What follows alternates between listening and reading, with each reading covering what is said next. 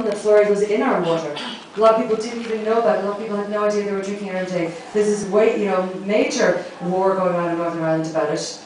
Whilst the troubles were going on, I mean, interestingly, it's the one thing that brought all parties together. They all agreed, no way, we're not taking this.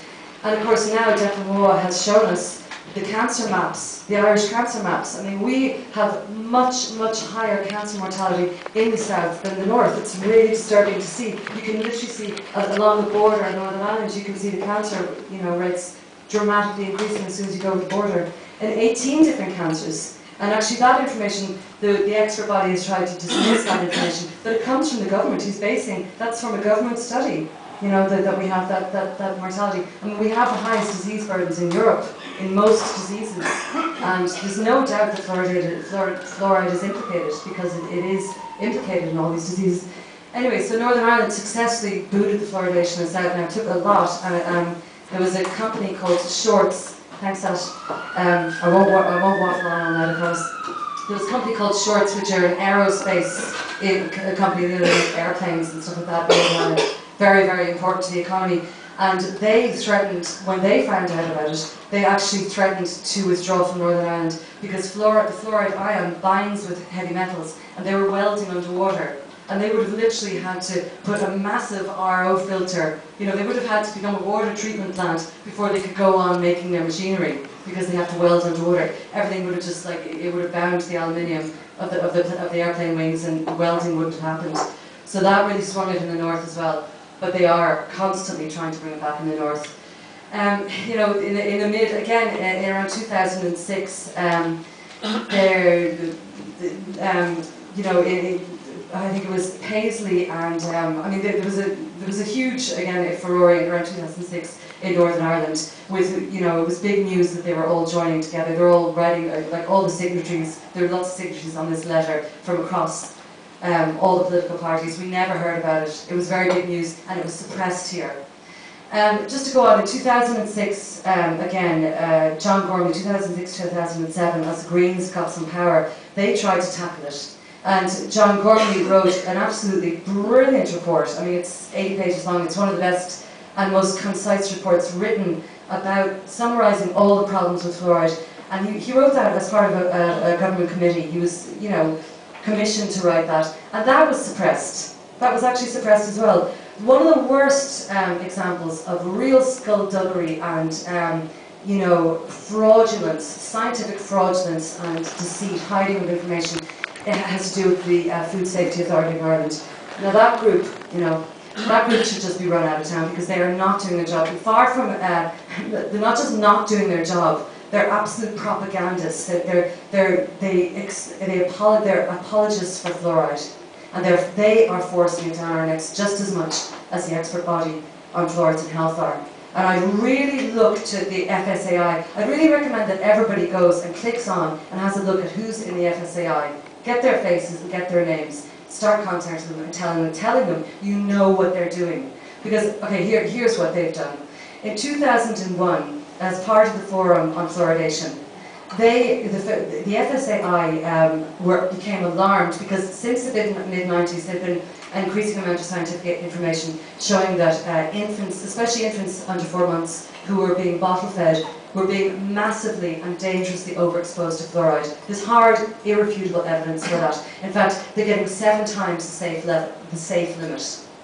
Now, we're having an explosion in the population of ADHD, autism. I myself have got an autistic son with very bad dental fluorosis. I've only begun talking about that because I didn't want people to think I had some, I had some kind of axe to grind. But I have no doubt that his autism has been at least exacerbated by the fluoride he's come in contact with.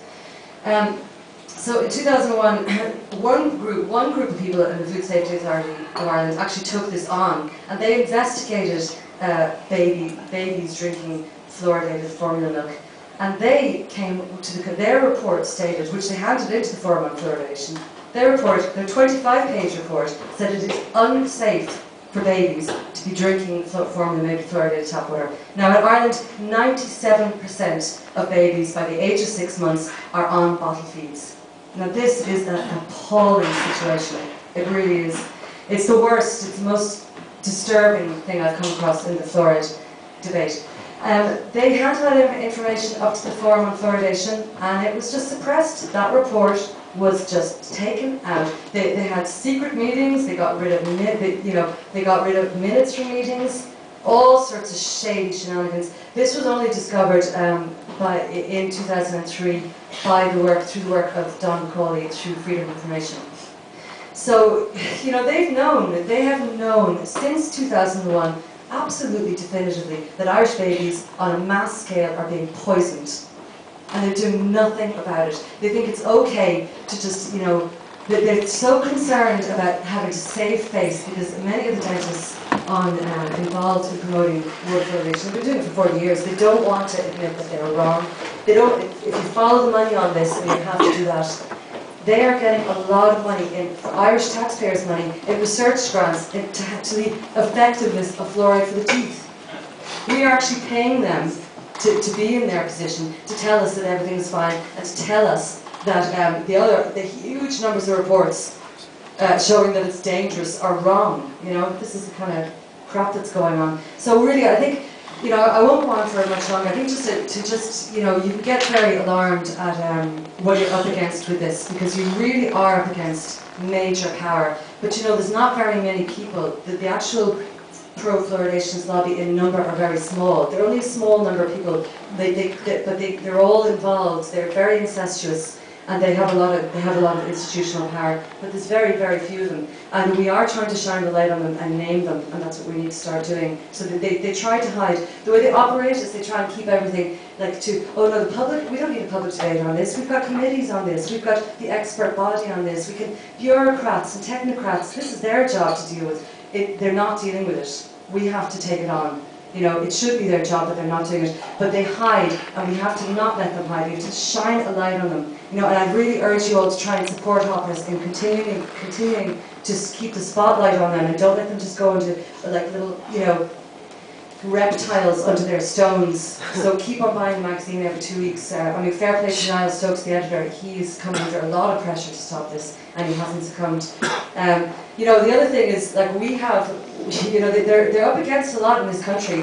Just to say, I've actually just been speaking, my, the, the next issue of Hot Press is coming out in two days, actually takes us out of Ireland and looks at Ireland from outside Ireland through the eyes of campaigners in Canada and the States. And we are being carefully watched. We are the main battleground in the world at the moment for fluoride. And everybody's watching us, both the pro-fluoridationists and the, the safe water people. And they're very excited by the campaign that's happening in Ireland, and we all should be, every, everybody here should be. I mean, there's so many people, where so many people for decades have been trying to stop this, and I mean, I'm only communicating what they are telling me and what I'm hearing from the current campaign. But the current campaign is very exciting because, of course, we have the help now of the internet, and they can't just dismiss us as a bunch of wackos because all anybody has to do is click on and read for 10 minutes, and they'll be, oh shit, this is actually alarming. This is this is disturbing. But I mean, the Girl Against Fluoride campaign is amazing, and fair play to Aisling and her mum, you know, and everybody involved in that team. And the one thing, you know, I was talking to uh, Michael Connett, who runs Fluoride Alert, uh, the Fluoride Action, what is it again? Fluoride, Fluoride Action Network in the States. And he was just saying, I mean, the, the, this campaign is so exciting because it's sexy. It's just sexy, basically. That's the bottom line. It's fun. You see people parading up and down Grafton Street half naked in the sunshine, all smiling and laughing in their bikinis you know, the, the expert body on fluorides and health, the dentists, Dennis O'Mullane and Joe Mullins, they don't have a chance against that. They may have all the power, but they don't have a chance in PR terms. So this is a PR campaign, and we can win the PR campaign, and that is the only thing that will win it. Because I tell you, the institutional um, stubbornness about this is full on. They, all the authorities are in denial. They, they just don't want to take responsibility for this. I mean, I think they're crazy because if I was um, Minister Alex White, I'd go, oh Jesus, this is getting